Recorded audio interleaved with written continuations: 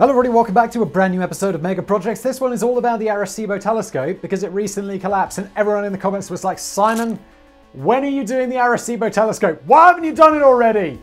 And uh, to me, I was like, isn't that the thing in the Golden in, in Goldeneye with James Bond? And he's like, for England, James? No, for me. And its glorious GoldenEye is the best James Bond movie, it is not debatable, but this video is brought to you by Magellan TV. Discover a new type of documentary film experience with Magellan TV and its binge-worthy documentaries. Updated every week. More on them in just a bit.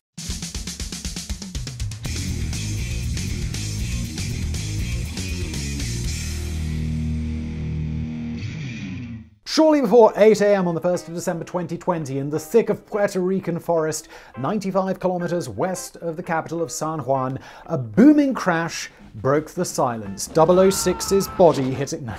This particular area of the world looks very different depending on where you are. Standing within the thick vegetation, it could be easy to feel like you are miles, perhaps even hundreds of miles from civilization. However, from the air, you would see that the vast ocean of green below is broken by an odd sight. A giant telescope lies nestled in the undergrowth, its colossal dish hugging the floor, while its receivers hang above, pointing expectantly towards the star. This is one of the largest single aperture telescopes anywhere on the planet. Or should I say, it was, because that booming crash in early December signaled the end of the Arecibo telescope. Built in a natural sinkhole, the Arecibo telescope was a breathtaking sight. The inverted spherical dome that lines the sinkhole floor measures a huge 305 meters, that's a thousand feet in diameter. That's almost three times the length of a Premier League football pitch. Suspended 150 meters above the dish and held in place by three giant towers on the edge of the dome was the receiver and radar transmitters. For 57 years, this was one of the most important observatories on the planet, but time, it finally caught up with this aging hulk. After being battered by Hurricane Maria in 2017 and suffering damage as a result of earthquakes in 2019 and 2020, the end appeared to be near as the final months of 2020 passed by. But near turned out to be much closer than anybody had anticipated.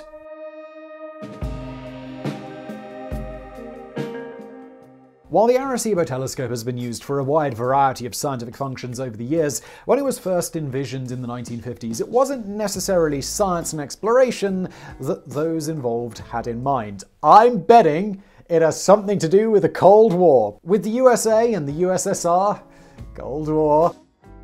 Beginning to both posture and with the nuclear arms race hotting up, the threat of apocalyptic weapons raining down from the sky became a serious concern. This was still early days in the United States, was almost a decade away from the North American Aerospace Defense Command, NORAD, which was founded in 1958 and would eventually provide one of the most complex and comprehensive early warning systems on Earth. But in the early 1950s, those working on early warning systems focused on the unique physical signatures that a nuclear weapon would make if it was fired up into the atmosphere and then re-entered, ready to attack a specific target. The focus was the ionization of the atmosphere, which could be caused by hot, high-speed objects, specifically within the ionosphere, the ionized portion of the upper atmosphere located at altitudes between 48 kilometers and 965 kilometers. That is some range. Unfortunately, very little was known about the ionosphere, or indeed how these physical signatures might manifest themselves. One of the objectives of the planned Arecibo telescope was to study this. Two physicists working for Cornell University, William E. Gordon and George Peter, were given the task of developing plans for the telescope, and their interest was drawn to the karst region in western Puerto Rico. Karst areas typically come with plenty of caves and sinkholes, which could provide the perfect location for a gigantic dome. One enormous cavity, located 18 kilometers south of the town of Arecibo, it stood out. However, the original designs didn't quite fit with what appeared. Initially, the Arecibo telescope would have come with a fixed parabolic reflector along with a 150 meter tower. But having a fixed reflector would have severely hampered scientific work as it wouldn't have been able to move. Obviously, it is fixed. Further, the tower located in the center of the dome would have severely affected signals. Instead, they needed something that could move above the dome without blocking too much of it. The answer came from George and Helias Doundoulakis, who devised a structure structure that called for a donut-shaped truss, which is a series of beams assembled to create a rigid structure to hang above the dome, suspended by four towers located at its edge. The truss could be rotated 360 degrees and could be lowered in the event of a hurricane. Just a quick word on George Doundoulakis before we move on, because, well, he's one of those little known yet truly extraordinary people that we should probably know more about. His story begins in Detroit, where he was born to a Greek family which moved back to Crete when he was just four years old. During World War II, he fought for the Greek resistance and was eventually recruited by Britain's Special Operations Executive and played a leading role in the successful kidnapping of Nazi Major General Heinrich Kreipe before being forced to flee Crete. While undergoing training in Cairo, he switched his services to the American Officers of Strategic Services, OSE, and was sent back to Crete, where he eventually commanded a force of 7,000 guerrilla fighters. Despite ferocious Nazi attempts to destroy the rebels, their sabotage of railway lines and maritime shipping proved to be hugely damaging for German supply lines. After the war, he was awarded the American Legion of Merit, as well as the British King's Medal for his services during the conflict. He went on to become a brilliant physicist responsible for no fewer than than 26 US patents in the fields of radar, electronics, and narrowband television. But he is best remembered for his design of the Arecibo telescope. He was overall just a truly remarkable human being. And if you want to watch some truly remarkable documentaries, you see what I did there? Consider a subscription to today's video sponsor, Magellan TV. Magellan TV is a new documentary streaming service founded by filmmakers who love history that's a good thing. They believe in the old adage about studying history. You can't know where you're going until you understand where you've been. As a result, Magellan TV has one of the richest catalogs of history content available pretty much anywhere today. Everything from the Greeks to the Great War, plus modern history biographies, scientific profiles, true crime and so much more. Their team of producers and content developers look all over the world for new documentaries to add to their library, updating it every single week. The end product is like if Netflix was designed by your favorite history professor. And what's one thing that you love about paid streaming services? There are no ads. You won't find any ads on Magellan TV because there's nothing worse than when your content is interrupted by ads, right? So if you're looking for 4K explorations and binge-worthy topics, you should consider Magellan TV. Today, I'd recommend The Age of Hubble. It's a particularly interesting documentary that you could dive into if this exploration of the Arecibo telescope has you all fired up or some such. So if you're looking for some different streaming options for yourself or a friend or family member, give Magellan TV a look. Just click the link in the description below to get started with Magellan. They will hook you up. And let's get back to the video.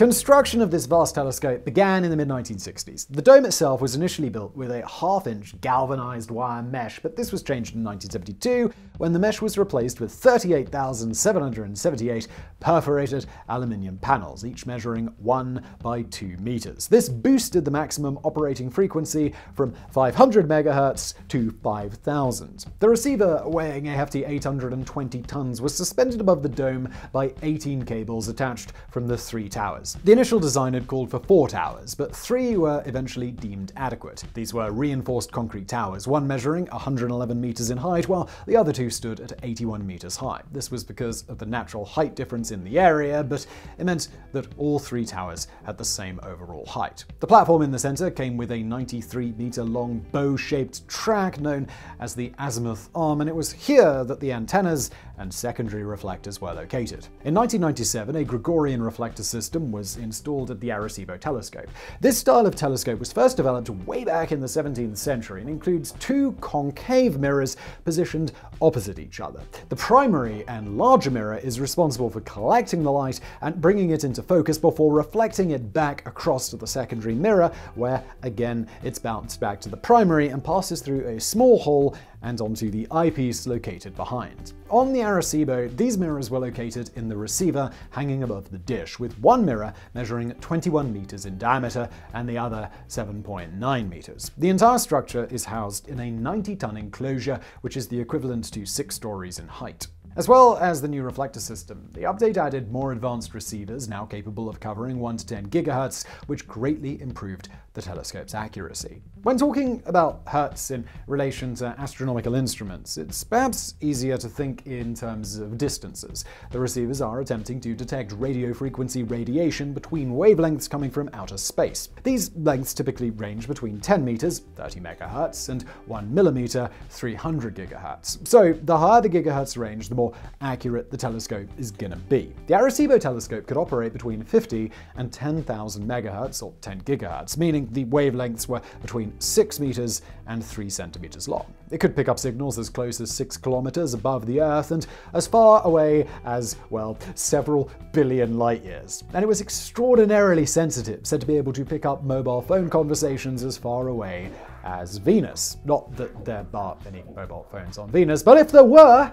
Arecibo would have eavesdropped. Lastly, this upgrade saw the power of the Arecibo's transceivers significantly boosted, going from 420,000 watts to 1 million watts. Among other things, this resulted in a much better resolution and could study Venus with a resolution of 1 kilometer, while asteroids and comets were even better at 15 meters. Amazingly, that's good enough to detect a ball the size of a golf ball made of steel on the moon.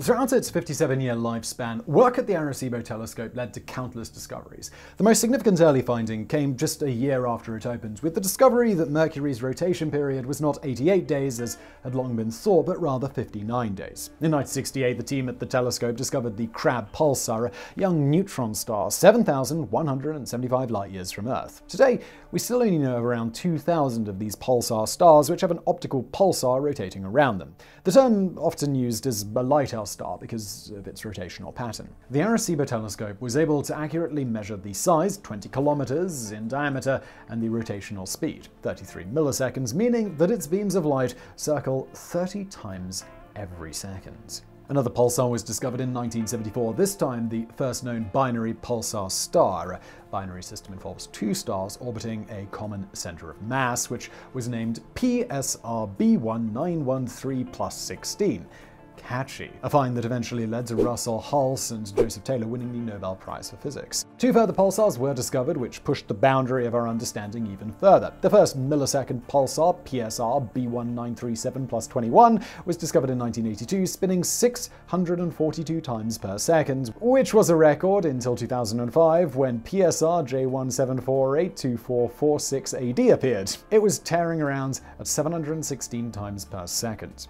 In 1980, the Arecibo successfully detected Comet Encke, which was a first by radar observation. In 1989, the observatory recorded an image of an asteroid for the first time in history. Just in case you're interested, 4769 Castalia is a peanut-shaped asteroid approximately 1.4 kilometers in diameter, and it falls under the category of potentially hazardous asteroids. But don't worry, though it did pass within about 4 million kilometers of the Earth, that's 11 distances from us to the moon. We've also got a pretty good idea of its orbit for the next 200 years, so it looks like we're going to be safe from that particular one at least. In 1990, the Arecibo caught a glimpse of the first known extrasolar planet, planets outside our solar system, while in 1994 it was used to map the distribution of ice in the polar regions of Mercury. In 2010 and 2011, the observatory detected strong bursts of radio emissions from the T65 Brown Dwarf 2, mass J10475 plus 2124234 names are terrible.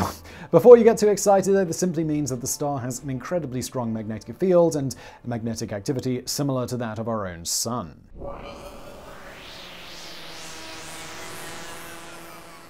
From substantiated science to a real hit and hope, Hail Mary, if you will. Since the 1970s, data from the Arecibo telescope has been used in the ongoing search for extraterrestrial intelligence, or SETI. Much of this has been done through passive scanning of the skies, but on the 16th of November 1974, things were not quite as passive. It has come to be known as the Arecibo message, an interstellar radio message that was beamed out from the Arecibo telescope in the direction of the globular star cluster M13, around 25,000 light years from Earth. This wasn't so much a message, but rather a compilation of information designed to showcase humanity. It included the numbers 1 to 10, the atomic numbers of the elements hydrogen, carbon, nitrogen, oxygen, and phosphorus, which make up deoxyribonucleic acid, or DNA, the formulas for the chemical compounds that make up the nucleotide nucleotides of DNA, the estimated number of DNA nucleotides in the human genome, along with an image of the double helix structure of DNA, the physical height of an average man, a figure of a human, and the human population of Earth. A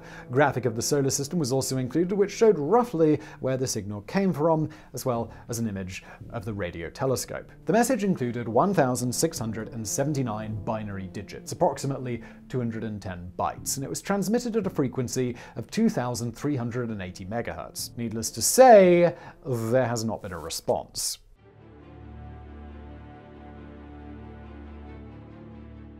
The Arecibo's downfall began long before its demise came in December of 2020. Financial cuts began eating into it, and its budget of $10.5 million in 2007 fell to just $4 million in 2011. Funding was cobbled together from a variety of sources, including the Puerto Rican government, NASA, private funding, and even assistance from the American Recovery and Reinvestment Act of 2009, but even so, the writing was on the wall. In 2007, Hurricane Maria tore off parts of the receiver, which damaged the dish below. While the scale of the damage was small, it proved to be another nail in the storied telescope's coffin. In August 2020, a support cable snapped, leaving a 30 meter gash in the dish, and in November, one of the support towers collapsed, inflicting even more damage to the telescope. An announcement was made there was not a great deal that could be done except ensuring the safety of those on site. Plans for the safety commissioning of the observatory were still being developed when, on the 1st of December 2020, a second tower collapsed, this time bringing down the massive receiver in the center,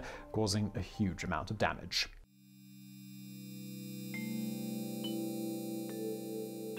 It's not difficult to feel like this is a rather sad ending for such a wondrous device that has taught us and showed us so much. Yes, there are certainly other telescopes around the world that have caught up and indeed now work better than Arecibo, but its contribution to our knowledge of space has been enormous. From the groundbreaking exploration of the pulsar stars to the wonderfully ambitious Arecibo message, this gigantic observatory located in the Puerto Rican forest has certainly played its part in space exploration. It's not immediately clear what happens now to the Arecibo Observatory, but its days of searching the universe are presumably over. But I do like to think that one day extraterrestrial life might reply to the Arecibo message or even visit the spot that it was sent from. And maybe they'll stare down at the vast forest below and wonder, well, where did that message come from?